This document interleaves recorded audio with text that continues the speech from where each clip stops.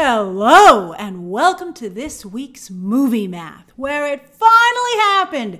They pushed their luck too far. The bottom has totally dropped out of DC. Oh my God!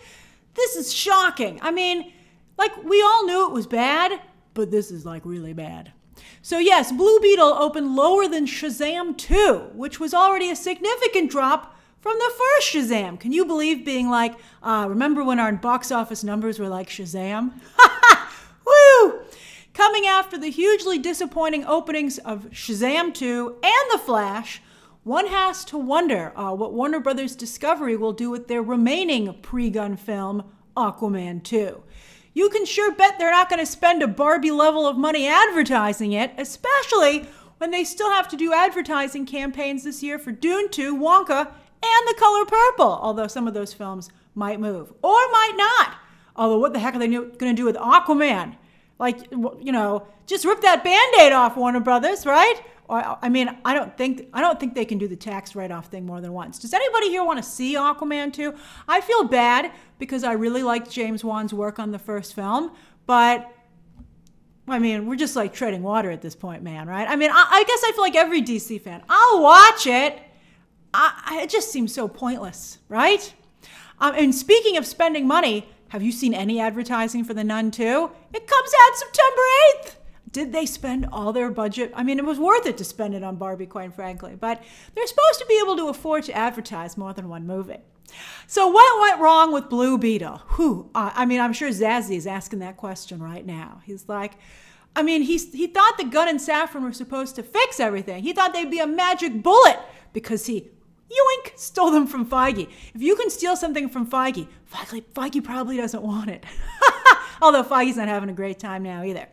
But anyway, uh, I think you know some of it also, of course, falls on Zazie as, as, well, right? I mean, I think you know when you have a failure this big, everybody has to look inside. now, I'm not. You don't necessarily have to get rid of anybody. I mean, I don't know if we're, we're at that point yet, but you know, a discussion of what went wrong does, shouldn't be so scary that you're not willing to have it. We're going to have it right now.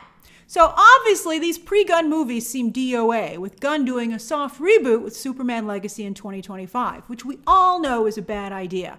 It should be a hard reboot, but he's insisting on the soft reboot because he wants to keep his pals.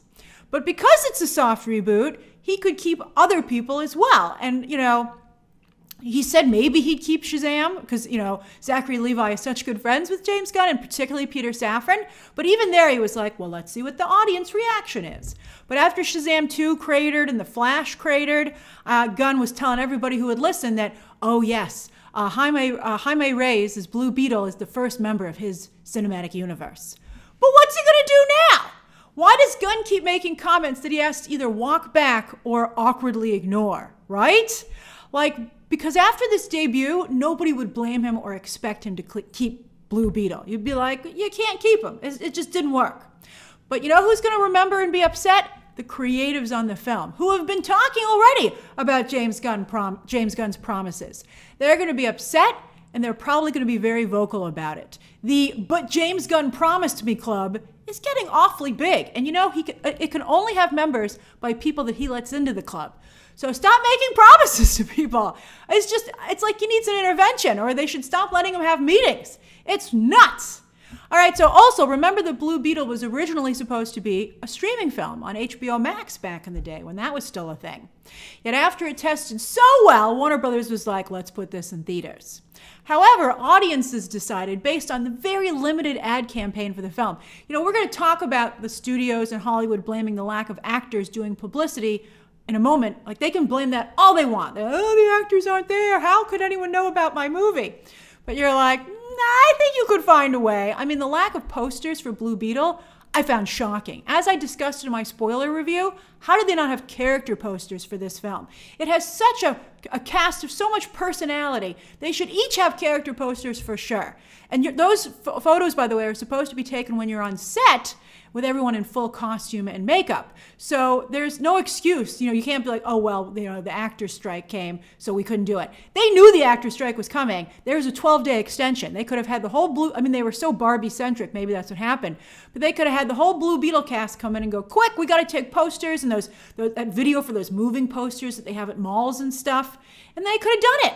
They could have, they could have, they could have done it. I mean, all the movies that are complaining now that didn't, um, that didn't put in the can some pre-recorded stuff. I mean, Haunted Mansion had some pre-recorded stuff, and that didn't help them.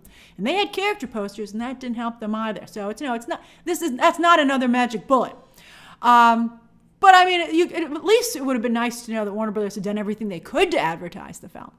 But based on the advertising campaign that they did run, audiences saw it and decided, yeah, that's a streaming movie with many just waiting to either watch it on digital or for no extra cost down the line on Max. Flash, Flash did pretty well on digital, and it has its Max date fast approaching.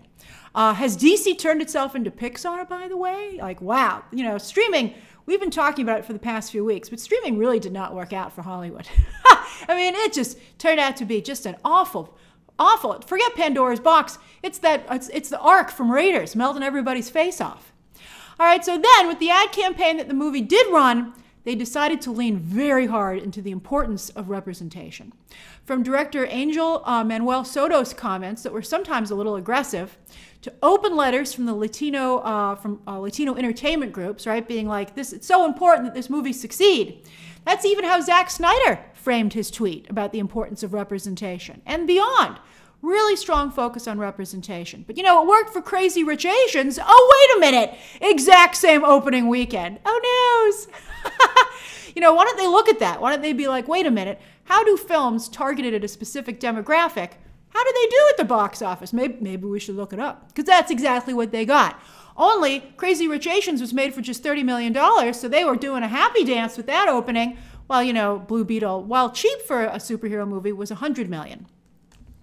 Uh, so thankfully, though, Latino audiences did show up. Sometimes Latino audiences don't show up. Latino audiences have become a huge power base within movie-going overall. They, they supercharge a lot of movies these days. But, you know, sometimes it's hard to figure out how to target them specifically. Horror has had a very hard time figuring it out.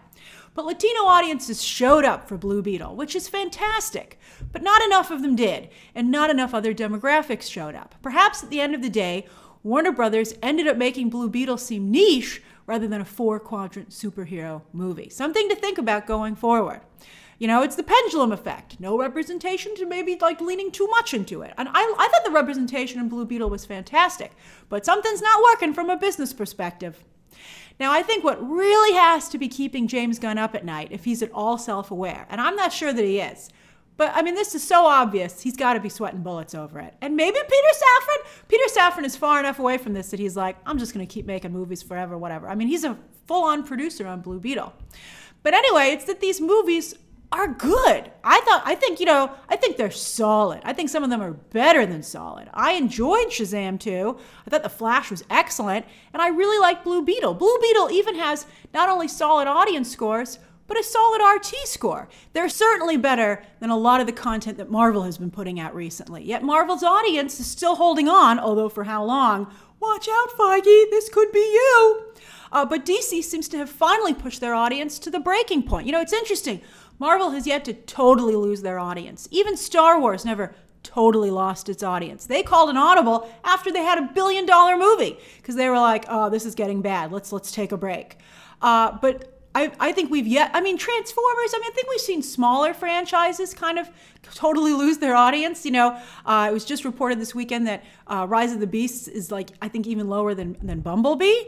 But like this, it's, it's unusual for a franchise this big with this kind of history to sink this low. As I said, the bottom has fallen out, and I think it's it's very very scary because it's never happened before. DC's DC's going blind here and how to try and fix it. How are they going to get the audience back? Although I think the continued drama, thanks to Gunn, certainly doesn't help. And I continue to believe that joining DC seems to curse everybody. It's it's a, it's incredible. It's almost like the brand is cursed because things happen to it that are so shocking. The Hollywood trades, as I said, are starting to argue that the SAG strike, which is keeping actors from promoting films and television, is finally hurting box office. They're like, it's the actors, right? Because letting Zachary Levi uh, talk uh, about Shazam 2 was such a gift to that movie. They were like, if only he had been on strike then. He's still causing problems, even during the strike, just when he talks in general. I mean, actors, you never know what you're going to get, quite frankly, when they do PR. But I mean, honestly, the trades are saying that maybe the grosses are off by about 15%, which does sound about right to me and is not a huge number. You know, it's not like, oh my God. I mean, it's it's enough to feel it, but it's not devastating, right? Like it wouldn't these movies like, you know, Blue Beetle wouldn't have doubled its box office if Xolo Maridueña had been able to walk the blue carpet. Uh, but also, it's important to remember that this is how strikes work. They're supposed to hurt, to incentivize the powers that are withholding to end the strike. There, I mean, there are no really big movies until November, quite frankly, and word is that the strikes probably will be over by then because they are starting to really hurt. I mean, they're really pushing to end the writer's strike, which could be ended maybe by, by or around Labor Day, and then I think they'll set their sights on the actor's strike, and this could be wrapped up by November for those big movies. Uh, so I, I think that's one of the reasons that Warner Brothers hasn't blinked yet with something like Dune 2. Uh, so what's the latest on Barbenheimer, right? Barbenheimer. Well, Barbie is a very close number two this uh, weekend in her fifth weekend of release. And in the next few days, she will surpass Super Mario Brothers to become the highest grossing domestic film of 2023. And she might be able to do it worldwide as well. There's only about a $100 million, different, 100 million uh, dollar difference between them globally. So Barbie, especially with so little competition, I think Barbie, uh, you know, I was going to say that both Super Mario Brothers and Barbie did so well in part thanks to lack of competition, kind of gimmies from Hollywood. But that's not totally true with Barbie. I mean, it's helped certainly in the weeks after Barbenheimer, but Oppenheimer was big competition. I mean, they did feed off of each other, but that was another big movie in the same space. So I think, you know, I don't want to detract from Barbie's success by saying she had no competition, because she did. Oppenheimer. Uh, but yeah, I mean, they, you, it is the lack of competition does have to be kind of looked at for these for Barbie and Super Mario Brothers as well. So how is Oppie doing? Well, he's chugging along as well. He is the sixth highest grossing film of the year domestic, and the, and the fifth worldwide. He just passed 700 million. But I still feel pretty good about my 800 million ceiling. Uh, maybe I'd raise it to 850. Now, some of you, when I said that before, some of you were like, no way, Grace, gonna end with a nine in front of it. I don't think that's true. I'm, I, I'll meet you in the middle and say maybe an eight, but I still feel good about this ending somewhere with a with a seven in front of it. But who cares? That'll still make it Nolan's uh, biggest grossing film outside of his two big Batman movies. Now the question is, well, obviously we all want to know if he'll get Bond, but I think another burning question is whether or not he'll go back to Warner Brothers. They really want him back. They say, hey, we got new leadership. We got new, and there's a new manager. Nolan did not like the Warner Brothers manager. I'd like to see your manager. But they're like, we got new management. They sent him a check for a couple million dollars, tens of million dollars. It wasn't a payoff. It was what he, it was, it was the makeup money on Tenet, right? Uh, and he's like, oh, he's been mixing his sound here at Warner Brothers. Oh, that's, is he coming back, right? I don't know if he is. I think I think uh, Nolan did not like having to open opposite Barbie. She, you know, as I said, the, the, the, shade from that pink mushroom cloud ended up being pretty intense. Uh, so I think I think that hurt him. I think that's just another thing that he doesn't like about what Warner Brothers did to him.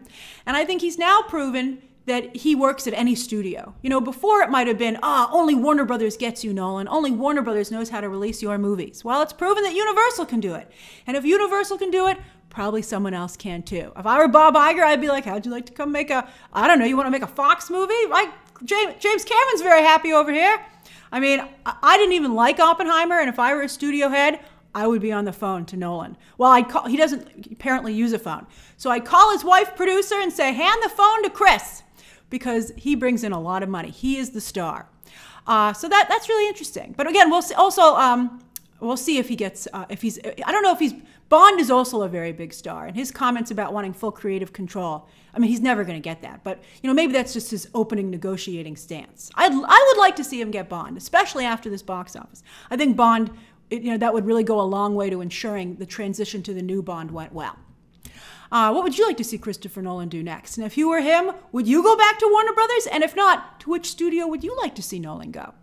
You could be, some of you will probably be like, why doesn't he release his own movie, Grace? Nolan's got enough to do. He doesn't need to deal with that. You need a whole machine set up to release a film.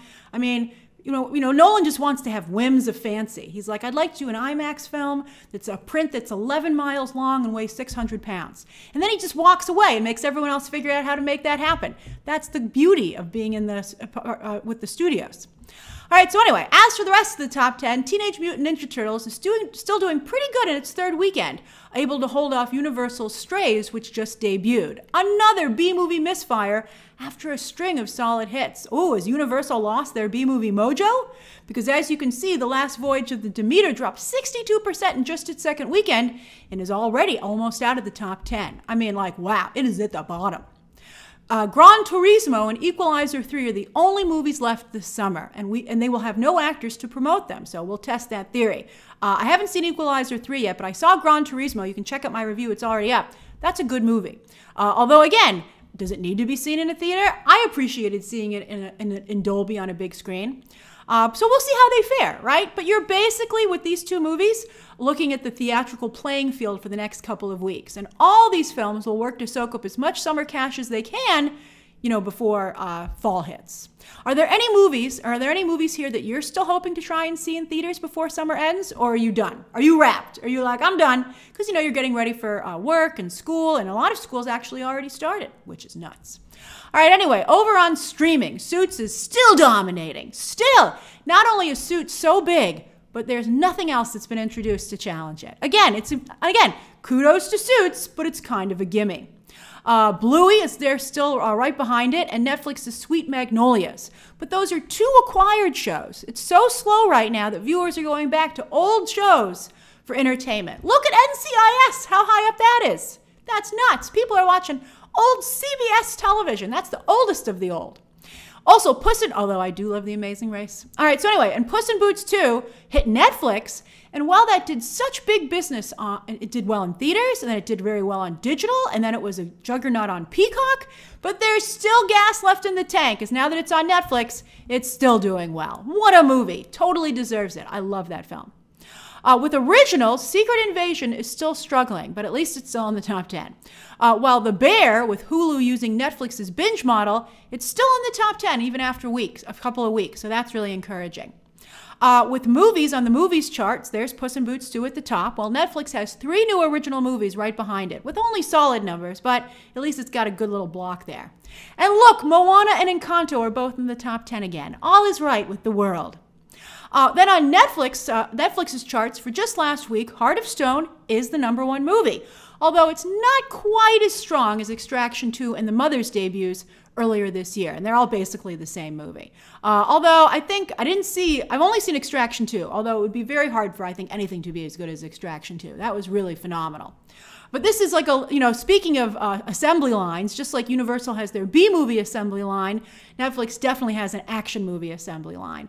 And while Heart of Stone is a scooch below those two movies, it's still in the same ballpark. So, uh, so far, so good. But, you know, uh, Extraction 2 and The Mother held up for weeks. They, they had very strong holds, and we'll see how uh, Heart of Stone does over the next couple of weeks. With shows, what do you know? Painkiller is a soft, it's a soft number one, but number one is number one. And that's pretty good considering it's basically a redo of Dopesick from a few years ago. I think the distance helps. But I said last week, I was like, how's anybody gonna watch Painkiller, right? When they already watched Dopesick? Well, there's so little to watch right now. I caved and watched Painkiller, especially because my parents were like, we're loving Painkiller. Although, to be fair, my parents didn't finish Dopesick. I finished Dopesick, I really liked it. But I gotta tell you, I really like Painkiller as well. And it's kind of like done from a different perspective. It's also a little edgier. So I think you can watch both. But I, I so I liked Painkiller. I think it's good. I'm actually going to finish it probably today. Uh, this reminds me of what happened with Candy and Love and Death. Although nobody watched Love and Death, which is too bad because it was so good. And I, I didn't watch Candy, but from the clips that I saw for comparison, Love and Death was so much better. Whereas I feel Painkiller and Dopesick are more even in, in, in terms of quality. Although well, we'll, we'll see. Will awards even take a look at Painkiller, considering how many awards Dopesick won? We'll see. But at least Painkiller has an audience. Uh, and its and its first and its first full week on the charts, Heartstopper season two has unfortunately fallen a bit instead of go, gone up, but it's still towards the top of the top ten, so that's good.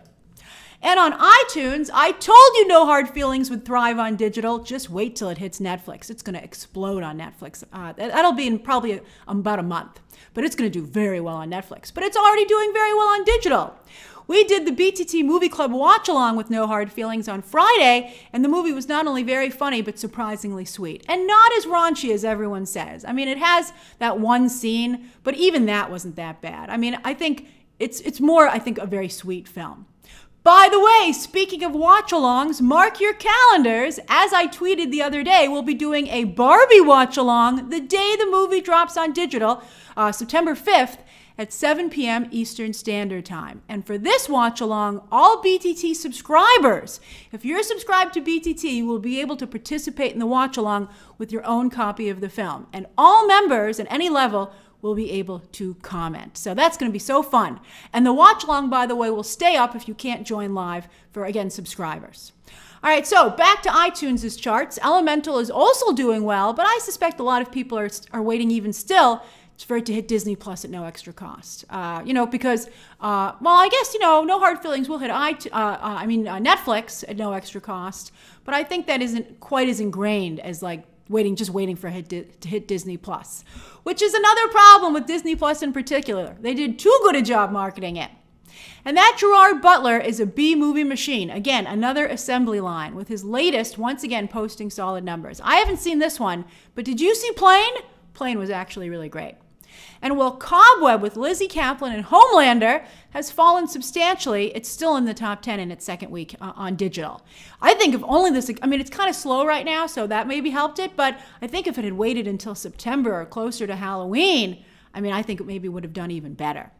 Uh, as for this coming week, yes, Gran Turismo, after a slight delay and lots of fan screenings, we'll see if they helped. They certainly didn't help The Flash.